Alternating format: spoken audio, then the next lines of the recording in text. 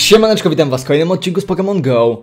Dostaliśmy informację odnośnie tego, że do gry weszła już nowa aktualizacja 0.107.1 i ona pozwala nam na doszukanie się w kodzie gry ciekawych rzeczy. I prawdopodobnie dziś w nocy albo jutro rano będzie możliwość już korzystania z nowego systemu. Ale oczywiście nie trzymajcie moich słów bardzo kurczowo jako wyznacznik tego, co ma się wydarzyć akurat w tym czasie.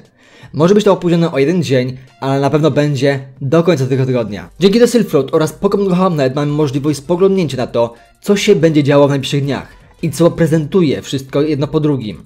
Jednak Hrales wczoraj już zaprezentował nam na swoim streamie, jak wyglądają wszystkie formy Pokémonów alolańskich, jak i też ich wersje Shiny.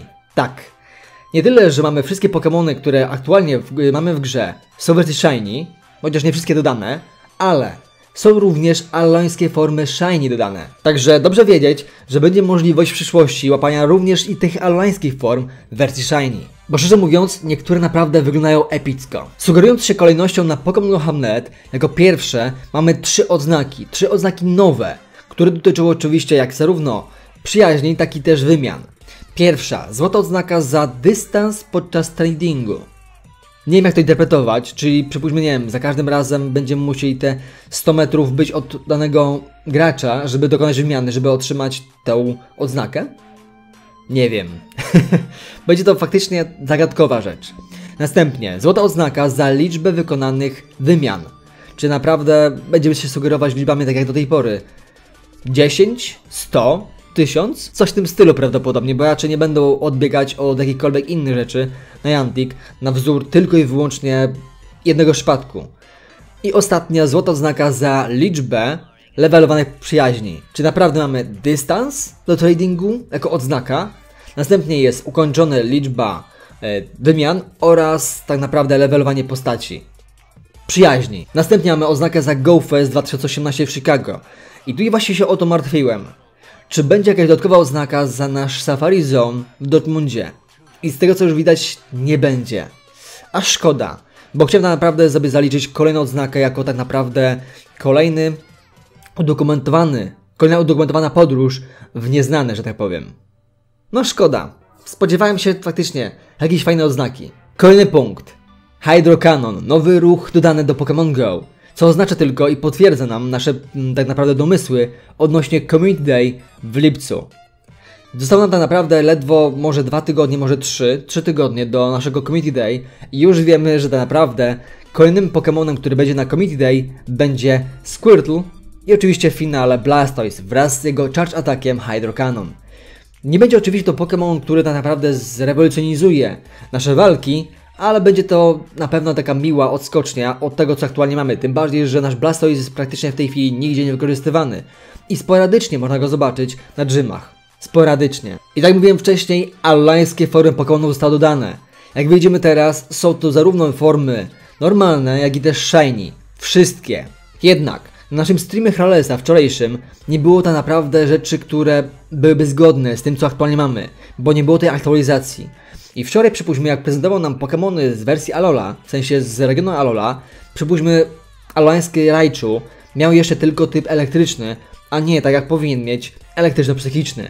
I prawdopodobnie dopiero teraz, jeżeli by odpalił swoją grę, w sensie swój symulator, byłoby już w tej chwili wszystko poprawnie. Kolejnym punktem naszego update'u są informacje odnośnie tego, jakie Pokémony możemy wymieniać, ewentualnie inne restrykcje. I tutaj oczywiście czytając po kolei. Ty i twój przyjaciel możemy wymieniać się Pokémonami. Musisz osiągnąć odpowiedni level, żeby oczywiście dojść do systemu wymiany, czyli level 10 minimum.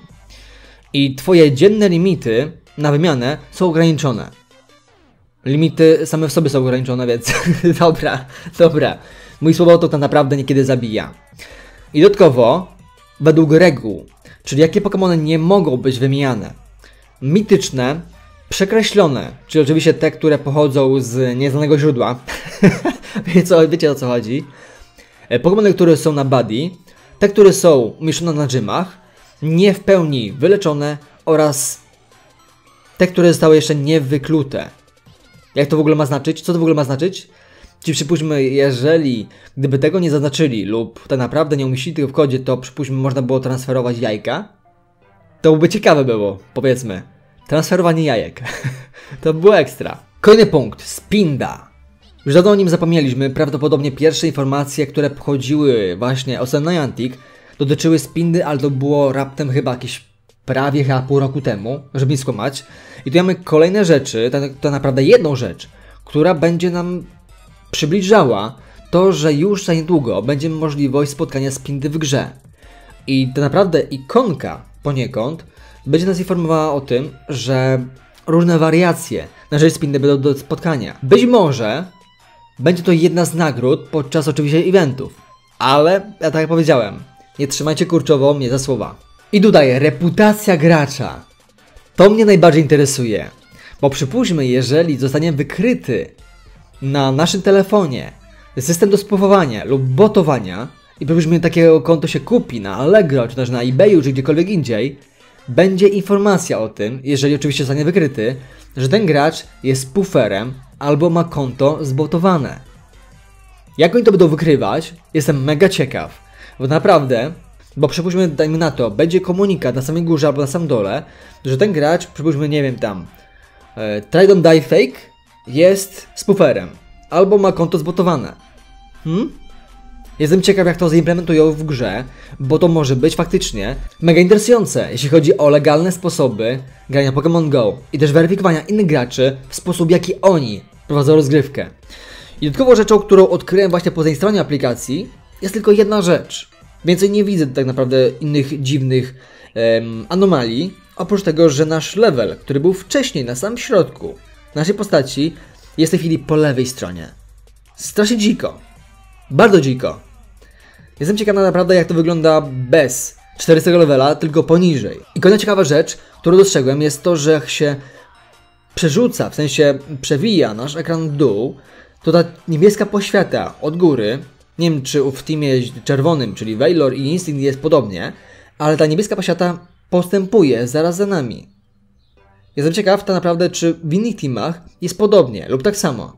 Jeśli chodzi oczywiście o ten update, no z mojej strony to na tyle. Mam nadzieję, że Wam przybliżyłem kilka ciekawych rzeczy, które będą nadchodzą do Pokémon Go i są mega interesujące, a my się widzimy oczywiście w kolejnych nowościach, jak i też gameplayu Pokémon Go już wkrótce. Także trzymajcie się, heja!